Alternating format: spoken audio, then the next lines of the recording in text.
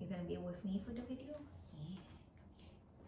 Come here, closer so people can see. You're so pretty. Yeah, you're so pretty.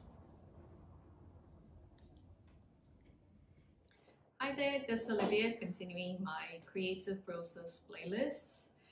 And uh, at this point, we're still very much at the beginning, but I know I've already given you guys like so many directions. Like, do this, research that, no, don't do that.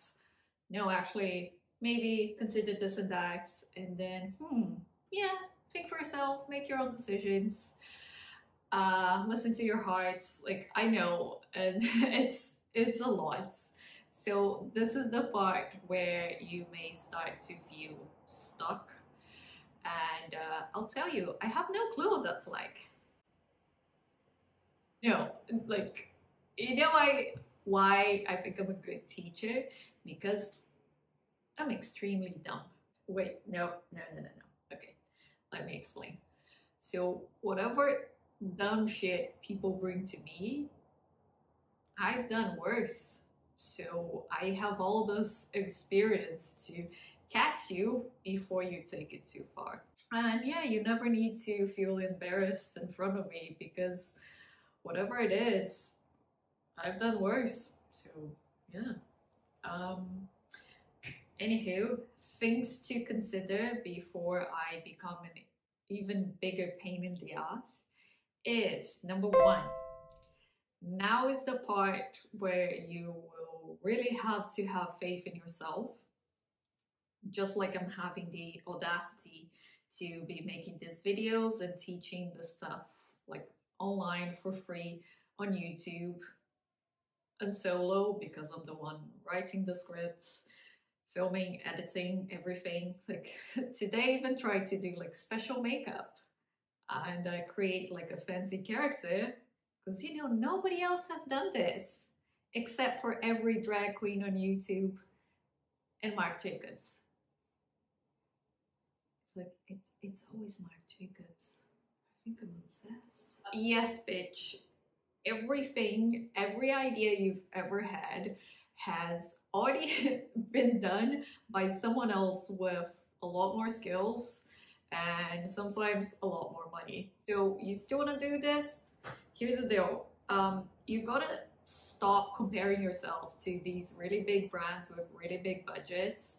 You like stop for a moment looking for inspiration if you're just gonna feel like extremely intimidated by legendary designers that already have like decades of experience, bodies of work that are shown in museums or like and sometimes like these designers are backed by multi-billion billion billion i said billion dollar conglomerates. Like chill don't put that much pressure on yourself and also stop reading inspirational stories of people that started from like total shits and now we're extremely successful. Just stop and look at what's right in front of you. Right now it's my cat's blanket. um, number two, this is the part where in most schools, if you show some nice collages, that's enough for the teachers to go like, wow, wow, so modern, look at this, so modern, wow and um, you'd be all set to make some fashion illustrations with the, the little flat sketch on the side. But, you know, if you're following me, I'm gonna be annoying and I won't let you jump to the, like, I won't let you skip to the conclusion just yet. First, we need to talk about design development. Yay! And um, I, I call it design development because that's the expression I learned. And uh, you know it's useful. You gotta name things so you can do verbal communication. And um, i also think it's helpful to think in terms of different stages in a way that keeps you moving but without like jumping the gun and uh, but also without saying yeah i'm stuck and i don't know what to do. And if you're like me and you're kind of chaotic and you can't get all conceptual, you can't get like a, a concept uh, right from the, the beginning, then you should feel really excited about this part because this is when you're you're gonna learn by doing here. Like you're gonna look at your research then you're gonna do stuff with like you're gonna paint you're gonna draw you're gonna work with fabric and uh, then you take a step back look at it and maybe you see like okay there's a lot of mess but ah okay make something a little bit more interesting looking here and uh, I guess I can go this way and I guess this is what my project is about. Um, but in practical terms what exactly can you do for this stage? Simple. You can research whatever you want. You can go super crazy on your collages. Now, what do you need in order to make clothes? And I have great news for you. This step has nothing to do with being a master pattern cutter, nothing to do with being like a super skilled seamstress, because we're still making studies at this stage. And the trick here is to be really obvious. So um, yeah, let me pull back my basic ass collage that I did to, as an example for the last video. And uh, like really, even if I say this is a very basic collage with pictures from a really basic ass Google search, there are elements here that can be explored and brought to real life.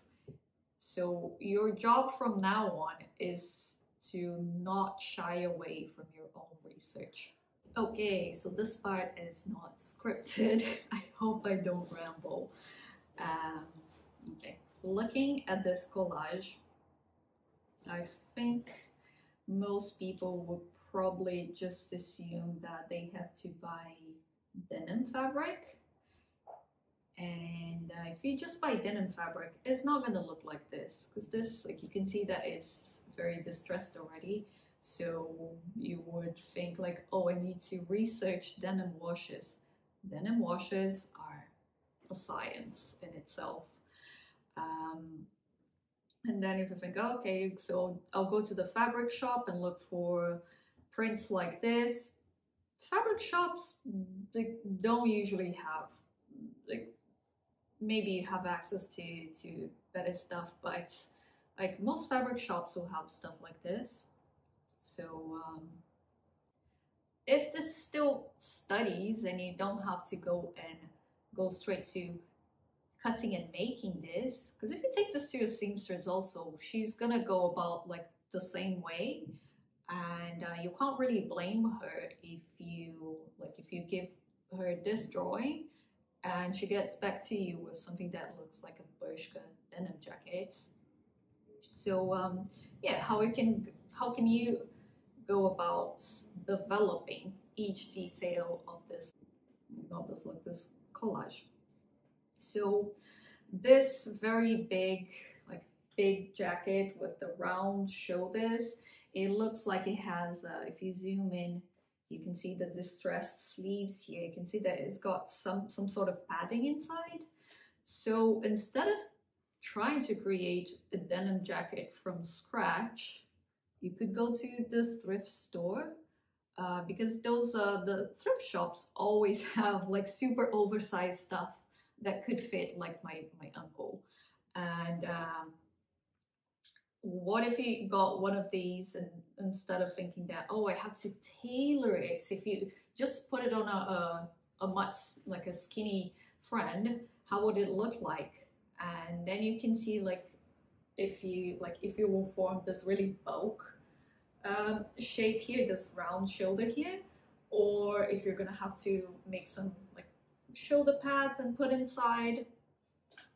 And um, like this is not a final thing, so you don't need to worry about like, is the fabric gonna look exactly like that? If you want something distressed, you can make your own experiments with fabric and you'll make like teeny tiny ones. You don't need to make like the whole jacket. You don't need to oh, now I need to send this jacket to a, uh, a denim washing factory.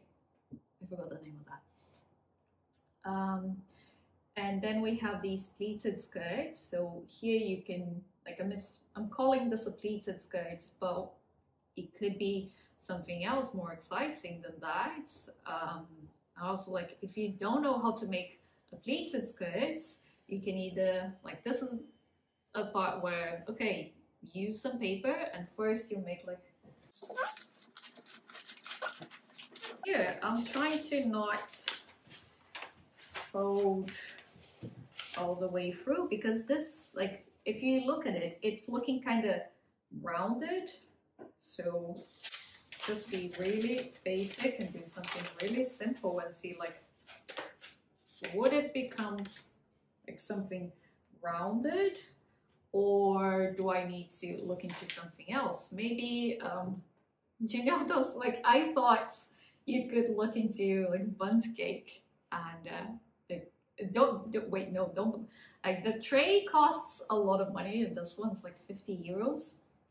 But you can look at this and try to recreate these like this very 3d skirts um, with paper or then if paper is not working and you're just thinking ah then try another material try something else. And then we come look at this this bit here with the prints okay what if you wanted to like create prints similar to that then you're gonna have to dedicate a few pages to to study um, like what is what is going on here? So it's a, a very dark background and like these like there's a, the flowers the cherry blossoms in one side and uh, these clouds like almost like water puddles or something.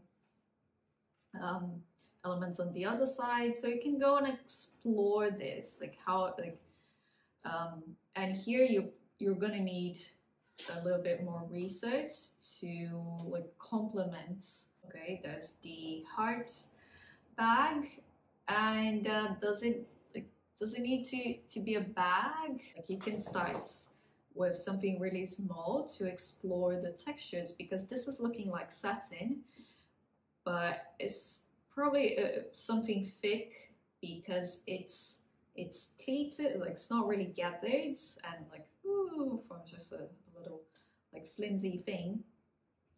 Is looking like the pleats are looking somewhat stiff so you can look at like what sort of material you can look into to to form this texture and uh, then around it it looks like it has some sort of lace and what if you don't have access to like those vintage lace trims that only have like those cotton laces with um, with the blue ribbon. But if you don't have access to this, what else can you, like, what can you do yourself?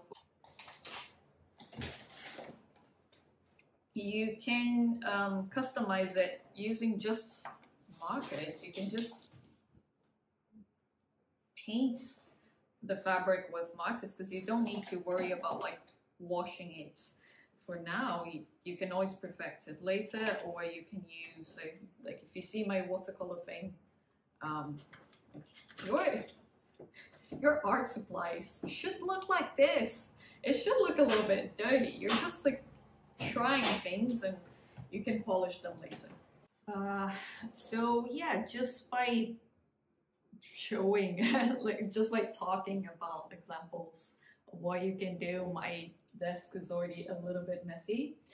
Um, and yours uh, is probably gonna look even worse since you're gonna do the actual things. And um, in the next videos I am gonna go back to my borrow portfolio just so I'm not like just like shouting like random generic suggestions of what you can do.